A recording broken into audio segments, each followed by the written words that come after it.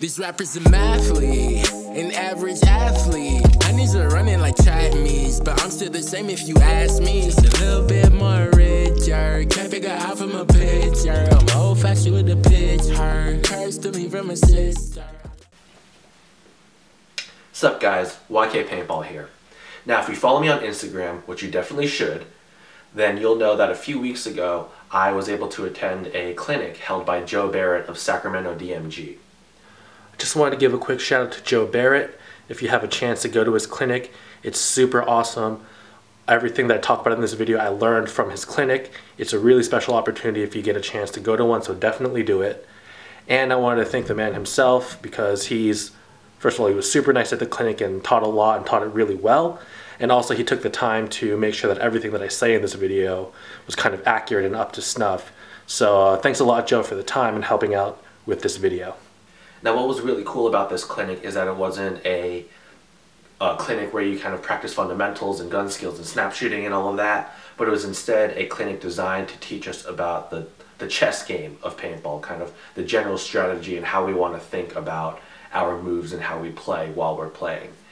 And what I wanted to do is I wanted to give you guys some of that information that Joe gave us because um, something that Joe mentioned and something that I kind of agree with is that if you're not tapped into a knowledge base, if you don't have access to a coach with a lot of experience, a lot of the information that he gave us is actually pretty hard to come by. So I wanted to remedy that situation and, and put all this information out there, make it a little bit easier to find. That said, if you are a player who's on a team and that team has some experienced coaches that kind of know what's up and know how to play um, and know the general strategy, this video might not be very valuable for you. But if you're someone like me who they just kind of go out on the weekends but want a better idea of how to play and what to be doing and focusing on, or you may be a group of five friends who've come together and formed a team and you want to step your game up, but you don't have access to a coach or that sort of experience and knowledge base, this video is hopefully going to be pretty helpful for you. Now before we get started, I wanted to give a um, clarification, so to speak, on what I'm going to be talking about in this video. I'm not going to be giving you a very specific game plan of once you get to this bunker, you shoot this lane and then you move or something like that, because that's always going to be different dependent on the layout. What I'm going to be talking about in this video is a very general framework, um, kind of a starting point or general foundation for you guys to have in your mind and then kind of hang very specific kind of layout stuff onto this general framework. And so, like I said, it's not going to be anything specific, but it's going to be kind of general objectives and ideas for you to keep in your head and direct your motions when you're on the field. Okay, let's get started. Now, first I'm going to give you guys kind of the two main things, main objectives to keep in your mind when you are kind of executing your paintball strategy. The first is that the the main idea, so to speak, of what we're doing here is we want to push our advantage and not gain a disadvantage that negates that advantage. And uh, I'll get into that kind of specifically and what that means uh, when I actually start talking about the strategy. The second thing that we're trying to do is a bit more specific, is that we are not necessarily trying to uh, get eliminations. Obviously, we're going to get elimination, that's how we're going to win the game, but the thing, the main objective to keep in mind is not, you know, kill, kill, kill. The thing to keep in mind is that we are going to try and get the opponents, we're going to get their bodies to turn in on themselves. And so what happens is when the bodies start to turn in on themselves, they're getting really tight and tight and tight, and eventually bits of their packs and hoppers and stuff like that are going to stick out, and they just won't be able to get any tighter, and then they'll get pinched out. And so that's what we're trying to achieve when we are executing our strategy. So just keep those two main things in mind. So the strategy itself, okay? So I want to start off by having you guys imagine yourselves after a breakout. Let's say that everything went perfectly for your team off the breakout. All five of you guys are alive, and you guys have made it wide on both the snake side and the Dorito side. So you guys are in like primo position. What do you do now? Well, first you need to assess the situation. And ideally, one of the sides for the opponent, opponent, they have either lost a body or failed to make it wide. Okay? Let's say that uh, for our purposes, on the snake side, the other team uh, has not made it wide. They're still short and kind of stuck in the pocket, the first few bunkers from the, uh, from the box. And so we've got a situation where on the snake side, you are all alive and you've made it wide, but the other team has not made it wide, they're short. And so you have an advantage on this side. What we want to do is we want to push the advantage on this side. So we're going to call this side the attack side, okay? Now the other side, um, you are all alive and you've made it wide, but so has the other team. You're in kind of a stalemate situation. You don't have a disadvantage here, but you don't have an a clear advantage that you can push like there is on the snake side or the attack side. So this side we're going to call the defense side. And the objective on this side is to kind of keep, is to not gain a disadvantage. We're trying to not lose on this side basically. Because if you do, then the advantage on the uh, attack side, the snake side in this case, is going to be negated. And how is that so? Well, remember what I said about turning in, okay? We're trying to get the bodies to turn in. Because as players move up, the body has to turn in like this to try and kind of deal with what's coming up their side. However, if on the Dorito side in our case, where uh, they've kind of made it wide, if they're able to start moving up, instead of turning in on themselves to deal with paint, they're gonna they're gonna be able to kind of swing wide, and they don't actually turn in on themselves. They're just kind of turning their whole formation, but staying kind of square and wide. And so as your attack moves up, if the D side starts to falter and the opponent gains ground, instead of turning in, they just kind of counter swing. And that's not going to help you win the game. And so that's kind of the general idea of what we're trying to do is we're trying to push the advantage and move up on the attack side and maintain the stalemate and control the opponents on the defense side. And if we do both of those things, we'll be able to get the uh, opposing team to turn in and we'll win the game. A quick note about sides real quick before I get started. Um, just because you're physically on the attack side or the defensive side doesn't necessarily mean that's where your role or your job is. For example, on the NXL Amsterdam 2019 layout, um, there's a bunker on the snake side, uh, one of the tall towers, that is actually like pivotal and key to controlling the D side. And so the player that gets put in that in that bunker, they're physically on the snake side, right? But their role is on the D side. And so just be and so just remember to keep that in mind when you're thinking of when you're playing and you're thinking about this. Where is my role? Not necessarily where is my physical body. Okay, so we've got the attack side and the defense side, the advantage side and the kind of stalemate side, the side we're trying to not lose on. I'm going to talk about our job on the defense side because it's a little bit more general and kind of everything kind of applies to all the players on that side really. So the defense side. Remember, the object objective here is that we don't, is we want to not lose. And so on this side, right, remember, we are all alive and we've made it wide, and the opponent is in an identical situation. They have, they're all alive and they've made it wide. What, the way we want to play to not lose is that we want to stay safe and control. And so we're not going to be kind of gunfighting all day or anything like that. We want to hold our hold our zones, you know, hold our lanes and prevent them from moving up. Now, this does not mean you just kind of sit in the back bunkers and just throw paint all day. You know, it might end up being like that, but not necessarily. Because there may, because what your objective is, is to control and stop the other team from advancing forward, right? You're, you're trying to be a wall. And so let's say you're holding a lane and they make it through it might be that the only way for you to control that player's next bump is for you to bump up yourself and then hold a lane that you can't see from where you're currently sitting. And so in that situation, right, you have to bump forward and move to control and contain the other team. And so that's what I mean is that you're not necessarily going to be just sitting in your bunkers and just shooting paint. You're going to be doing whatever is necessary to control and contain the other side and stop them from moving up and, and negating your advantage on the attack side. because if I do that, then I will that will let my friends on the attack side win the game. All right, well that was the defense side. So let's move on to the attack side. What I'm going to do here is I'm going to go through the front, the fill, and the back because they all have some pretty distinct jobs from each other. All right, so let's start with the front players. Now, the first thing that I want to emphasize with the front players is that the objective for you guys is not necessarily to get eliminations. What your job is, is to get the opponents to start turning in by moving up the field, okay? Now, you know, sometimes when you move up the field, there's gonna be free free kills. You know what I mean? Like you crawl up the snake, you pop up and look in, and you just happen to see like a the entire side of a player and he's not looking at you. Take that kill, obviously, right? But don't put yourself in a situation where you might get shot out to try and get a kill. You know, gunfighting is not the most important thing for you to be doing. Because if you end up getting shot out, all that progress that you've made, all that pressure that you've created by moving up is completely lost and the uh, and the job for the other team is much easier now.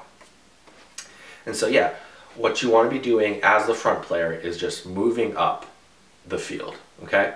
Because the more you move up the field, the more attention that they have to start paying, that the other team has to start paying to you. So you're going to be talking to your field player, you know, trying to trying to get that coordinating with them, trying to get them to maybe like put in a guy who is keeping you from moving and stuff like that. But your goal is to move up the field and get the opponents to start turning to try and stop your your progression.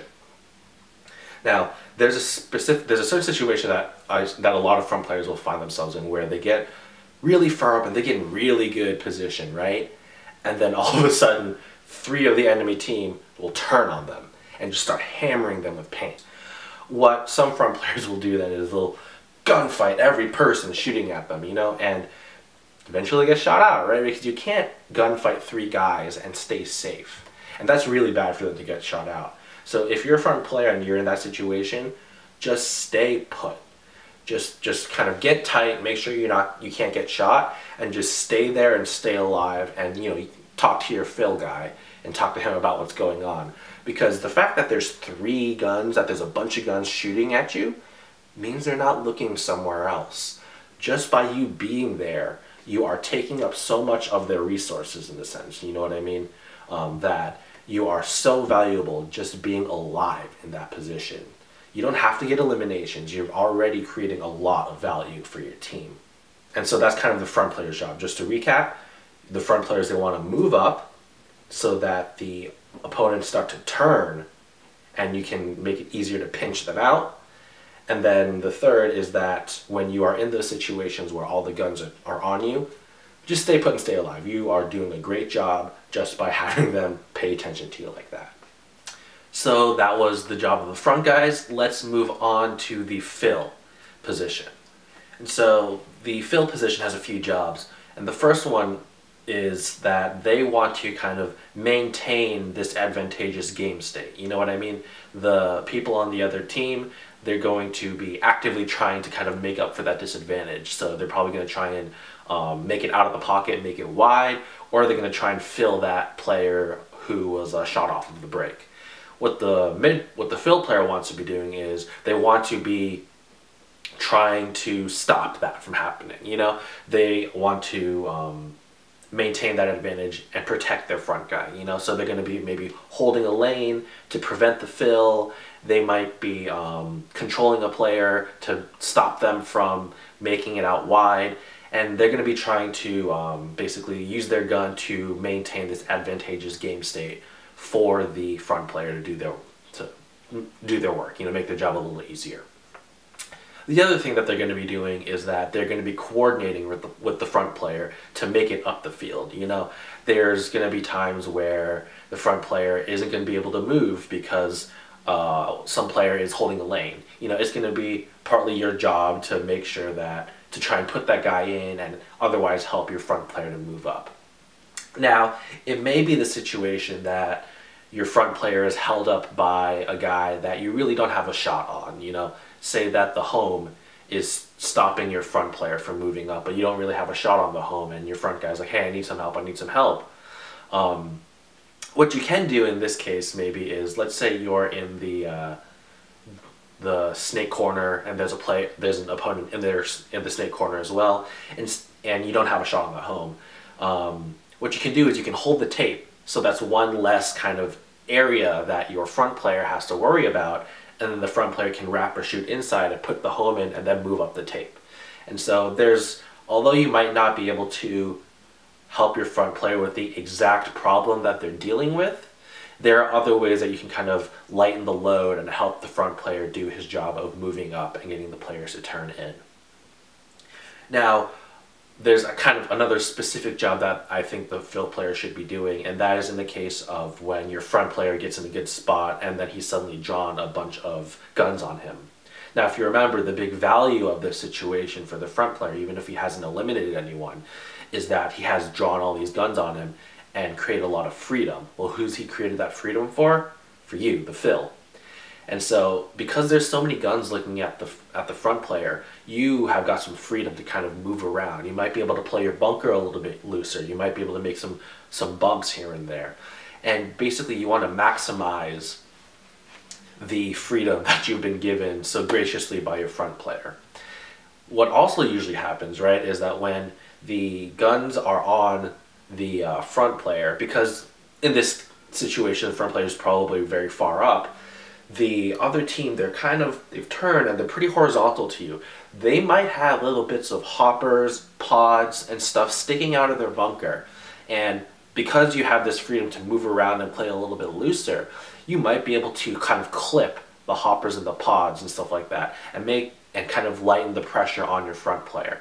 And so when your front player is in that position, he's drawn all those guns on him, take that freedom to kind of shark around and make some bumps and look for eliminations.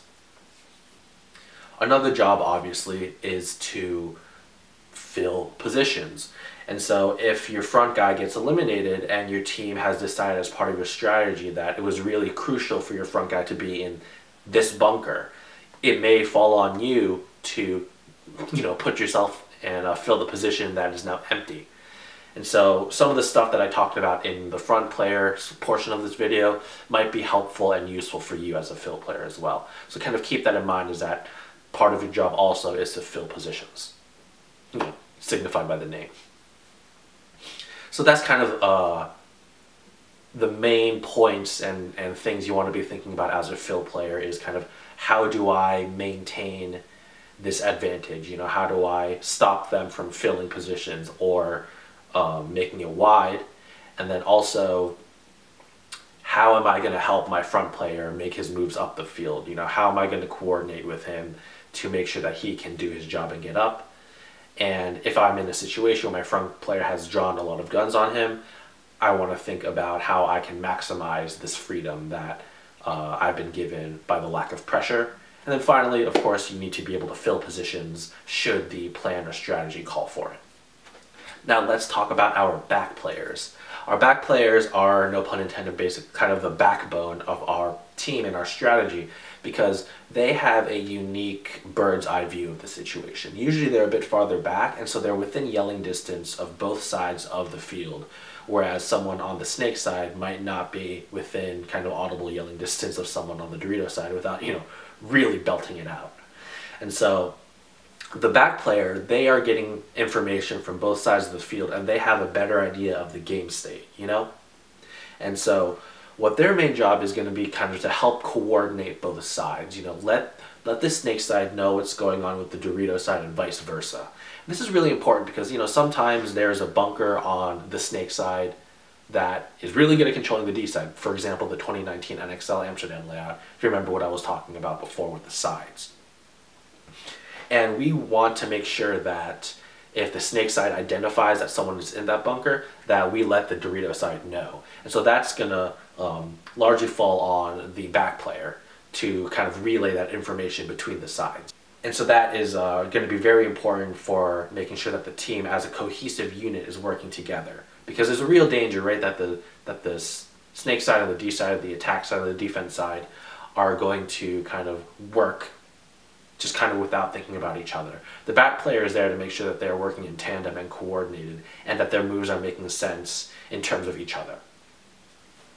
The other thing, of course, that they're doing is that they're going to be holding key lanes, key zones, and stuff like that to prevent any uh, movement or loss of advantages or gaining of disadvantages and stuff like that. You know, they've got they've usually got a lot of paint, so they're usually laying it down and, and really locking down a zone. So that's the second thing that they're going to be doing. That's kind of what they're doing with their gun. So that was the attack side and what the front, the fill, and the back player should be doing. And hopefully that will give you guys a better idea of how to basically win a paintball game. This information is stuff that you want to keep in your head when you're playing so that if there's ever a moment where you're like, I'm not sure what to do, if you think about these sorts of things, it'll help hopefully help you figure out what your next move is going to be. Next, I want to give you guys some tips and tricks on how to uh, execute this game, this game plan a little bit better. The first one I think is to have a nice short little call out that just lets the entire that lets everyone know quickly what sort of situation you're in. Uh, Joe Barrett, I believe, says he, his team likes to use red and blue. And so the way this would work is red means snake side attack, D side defend, and then blue would mean D side attack, snake side defend. Right? So let's say that the breakout happens and then you are a D side player and you notice that you have shot one of their players off the break. You yell blue, blue, you know, the black back player hears blue, he yells blue, and everyone on the field instantly knows what their job is. The other piece of advice I'd say is that when you are walking a field, keep this strategy in mind as you're assessing the bunkers and looking at lanes and stuff like that. Like, if you just going onto the field and be like, oh, this bunker has this lane and that one has that lane, that's useful, but it's going to be even more useful when you kind of go out there with an objective and say to yourself, okay, we want to achieve this. This is the strategy we want to achieve. What sorts of bunkers and moves and stuff like that is are going to help us achieve that? And so going out with just with this kind of idea in mind, the, these gen, this general strategy in your head while you walk a field is going to do wonders. The last tip I'm going to give is that you should just always keep these objectives in your mind. You know what I mean? The objective of turning in, the objective of moving your body up, whatever these kinds of uh, objectives, ideas, and strategies are, are applicable to your role as a player, really keep those in mind because they're going to be a, a sort of lodestar for um, for your play. When you're ever unsure of what you need to do, just think about these objectives and focus on them. And usually some sort of solution or, or idea is going to come up that will be advantageous for your team and the game as a whole. So that's everything that I've got for you right now. I know it seems like a lot, but believe, believe it or not, this is just kind of the starting point. Once you get into the field layouts and all of that, there's so much more to build on kind of the stuff that I've said in this video. That said, like it was a lot of information in here, so if there's anything that you have any questions about, or maybe anything that you want me to go deeper into, you know, let me know in the comments. Maybe I'll make a video, maybe I'll just respond to the comment, but I'll try my best to help you guys out. So thanks for watching. If you enjoyed this video, please feel free to subscribe or follow me on Instagram at yk underscore paintball. Thank you.